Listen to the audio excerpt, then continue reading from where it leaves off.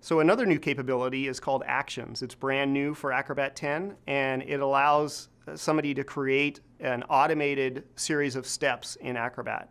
So for example, if we have a policy to uh, uh, when we're sending documents to people outside the organization to, let's say, examine the document and remove any hidden information, or apply a stamp that says confidential, or even add a password to make sure it's secure. We can put all those things together in a single action so that all anyone needs to do is click on that button and they're guided through the steps to, that they need to, to do all those things. Um, actions can also easily be shared between workers in the organization or deployed uh, while Acrobat is being deployed throughout the organization so everyone gets the same thing. It's a real easy way for organizations to make sure processes like that are standardized and make it really easy for end users to use them.